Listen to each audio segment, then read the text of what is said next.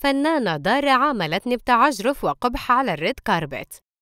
بهذه الكلمات أشعلت دانا حمدان ال social media مؤكدة إنها تعرضت لموقف ليس لطيف على الإطلاق بعد ما تعاملت معها فنانة زميلة بقبح.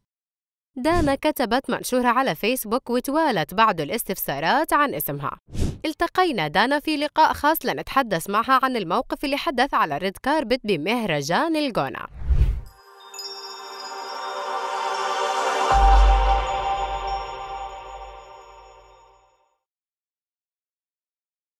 سألناها في البداية عن تفاصيل الموقف وطلبنا منها تحكي لنا المزيد من التفاصيل. يعني هو موقف حصل على ال red carpet ما كنتش أنا متوقعاه. يعني أنا اتاخدت زي ما بيقولوا. يعني أنا اتاخدت ما كنتش متوقعة حاجة زي دي. آه، خاصة إن أنا شخصيا من معجبينها. وبجد بجد مش كلام ميديا أنا بحترمها وبقول لها دلوقتي. من خلالكم ان أنا بحترمها جدا. آه، وأنا من ال fans بتوعها. يمكن عشان حصل لي زي ما بيقولوا disappointment انت لما تحبي حد قوي ويحصل بينك وبينه موقف مش متوقعة بتزعلي قوي برضه. دي حاجة وحاجة تانية مش المفروض يبقى ده نوع التعامل اللي بينا يعني فاهمة؟ ما أحبش إن ده يتصدر وخاصة إن الموقف حصل قدام الناس.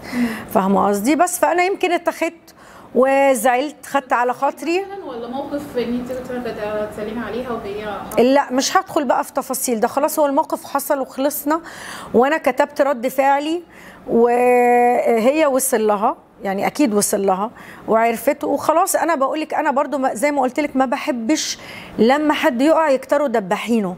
ما بحبش الناس ما صدقت إن هي تمسك بقى وتكبر وت... وت... في ناس كتبوا لي طب ما انت ما كنتيش كتبتي من الأول. لا أنا كتبت عشان أنا زعلت. وهي كان لازم يوصل لها إن أنا زعلت. أنا زعلت. يعني أنا هكذب واجاملها وأقول إن أنا ما زعلتش. لا أنا زعلت. زعلت ومش المفروض ده يبقى آه، أسلوب. يعني مش ده المفروض اللي يبقى أسلوب. ولا معايا ولا مع غيري. حتى لو أنا ما كنتش زميلة ليها آه، مش المفروض يكون ده الأتيتيود. هي هي أنا من وجهة نظري أكبر من كده بكتير. فاهمة قصدي؟ آه، فأنا زعلت وعبرت عن زعلي. بس ده مش معناه برضو إن أنا هقبل إنه حد يجرح فيها. حقيقي يعني أنا مش هقبل ده.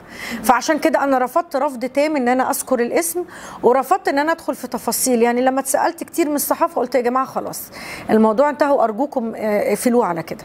حاولنا نعرف اسم الفنانة فمزحناها وحكينا بنقدر نقول إنها فنانة من ثلاث حروف. لا ما أحبش إن أنا أقول الاسم لسبب آه، اولا أنا من ثلاث حروف آه، بصي لا بكلم بجد دلوقتي. أنا ما بحبش مبدأ إنه لما الواحد يقع تكتر دباحينه.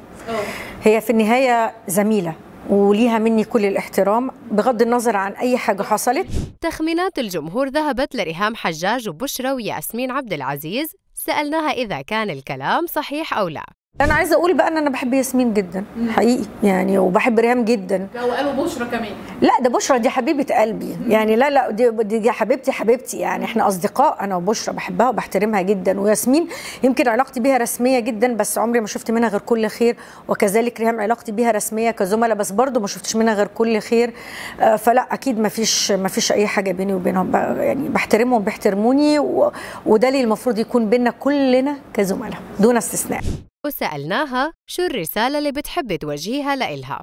أعتقد أني وصلت لها كفاية. آه حقيقي. أعتقد أنه اللي وصلها كان كفاية. وعرفنا منها أنه بعض الزملاء في الوسط الفني تدخلوا لحل هذه المشكلة. آه حصل.